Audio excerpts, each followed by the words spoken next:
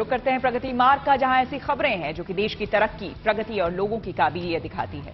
आज एक ऐसे पार्क की तस्वीर आपको दिखाएँगे जो न केवल अनूठा है, बल्कि कहीं ना कहीं लोगों को ये सिखा रहा है कि कैसे हम आसपास की वेस्ट चीज़ों को अपनी कल्पना की उड़ान देकर उसे मनचाही आकृति दे सकते हैं। तो चलिए, बगैर देर किए हुए आज आपको लिए चलते हैं चंडीगढ़ के एक ऐसे पार्क में, जहाँ मेटल से बनाई गई एक से बढ़कर एक कलाकृतियाँ आपको हैरान कर देंगे।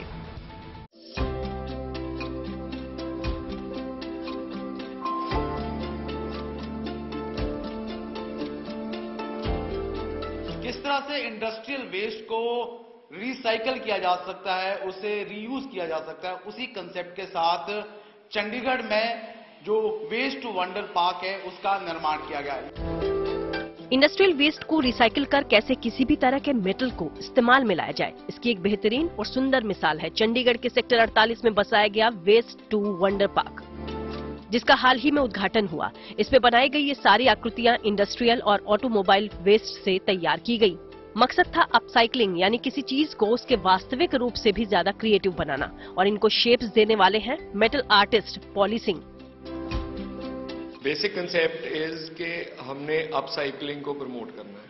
अपसाइकलिंग को प्रमोट करना है और अपसाइकलिंग एक यंगर जनरेशन को एक मैसेज देना है कि अपसाइकलिंग आप हर लेवल पे कर सकते हैं। नॉट नेसेसरी कि आपने एक, जैसे आपको इंटरनेट पे या जैसे आपको स्कूल कॉलेजेस में बताया जाता है, वैसे नहीं।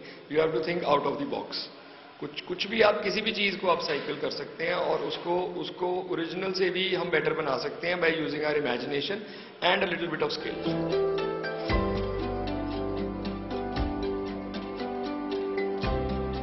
किस तरह से ये पॉली बॉट्स बनाए गए हैं, आप देख सकते हैं कि तमाम जो इंडस्ट्रियल वेस्ट है या फिर ऑटोमोबाइल्स के वेस्ट है उन तमाम वेस्ट को यहाँ पर कितने ही सुंदर तरीके से एक नई शेप यानी आप कल्पना को देख सकते हैं उन कल्प, उस कल्पना को किस तरीके से उखेरा गया है जो अपने आप में बहुत ही शानदार है।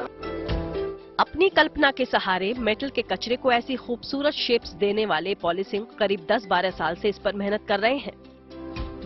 ये अ, मैं लास्ट टेन टू 12 ईयर से बना रहा हूँ। आई स्टार्टेड वेरी स्मॉल जैसे मैं अपने लिए I I started making them as basically my toys तो टॉयज के हिसाब से बने तो वो जैसे जैसे आप जैसे फ्रेंड्स मिलते गए उन्होंने इनकरेज किया तो फिर मैं अपने आप को चैलेंज करने के लिए उसकी शेप डिफरेंट कर दी। किसी में थोड़ा मूवमेंट देने की कोशिश की थोड़ा साइज़ चेंज कर दिया बड़ा किया।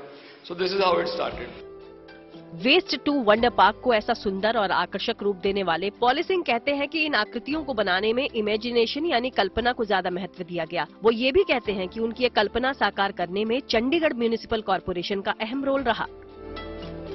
इसमें पार्ट स्पेसिफिक नहीं है। देखिए हमें ये अ, समझना पड़ेगा कि पार्ट्स हम स्पेसिफिक नहीं है हमारी इमेजिनेशन स्पेसिफिक है।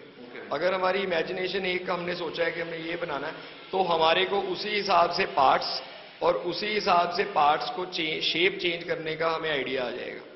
So the first first and the foremost is that you have to imagine and then you have to start thinking about it कि इस इमेजिनेशन को हमने फाइनल फॉर्म कैसे देना है। तो वो पार्ट्स उस हिसाब से ही आपको फिर विजिबल होने शुरू हो जाते हैं।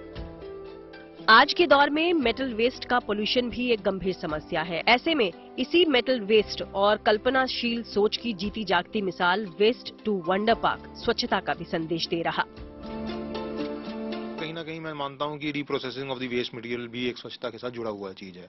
बिकॉज़ आफ्टर अगर उसकी रिप्रोसेसिंग नहीं होगी तो कहीं ना कहीं वो, उसका बोझ धरती पर और उसकी स्वच्छता पे ही पड़ेगा।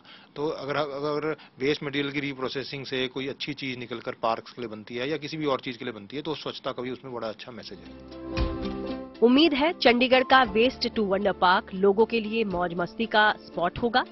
लेकिन भविष्य में ऐसी कई और मेटल क्रिएटिविटी तभी मुनासिब है, जब किसी भी आइटम को केवल किताबी ज्ञान से नहीं, बल्कि खुद की इमेजिनेशन के दम पर मनचाहा रूप दिया जाए।